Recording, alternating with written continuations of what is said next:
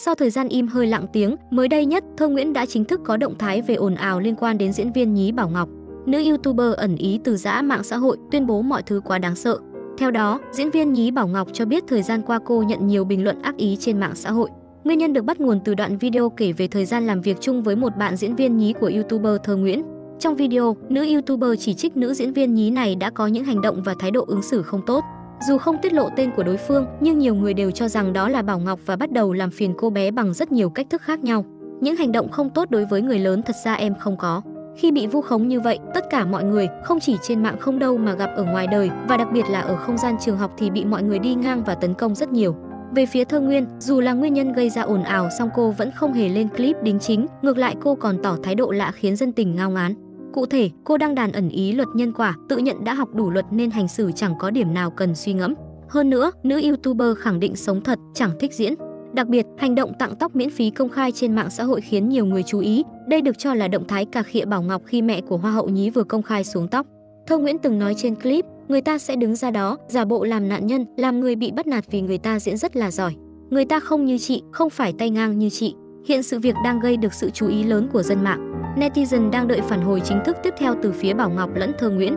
Thơ Nguyễn tên thật là Nguyễn Hồng Thơ, sinh năm 1992.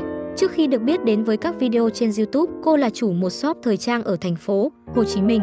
Bắt đầu ra mắt video dành cho thiếu nhi từ năm 2016, hiện tượng mạng nhanh chóng lập được nhiều kỷ lục về số lượng thành viên theo dõi. Các video của cô đều đạt hàng triệu, thậm chí chục triệu view chỉ sau thời gian ngắn đăng tải. Khi vướng lùm xùm vì clip tuyên truyền mê tín dị đoan vào tháng 3 năm 2021, Cục Thuế tỉnh Bình Dương cho biết đơn vị này đã kiểm tra nghĩa vụ nộp thuế thu nhập đối với cô.